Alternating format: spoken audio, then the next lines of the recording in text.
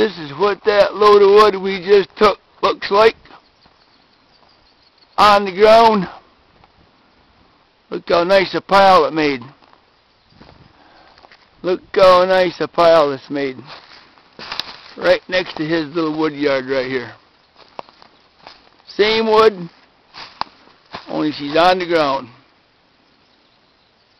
We backed up this little driveway right here. I mean, this is over in Ludington on Grace Road.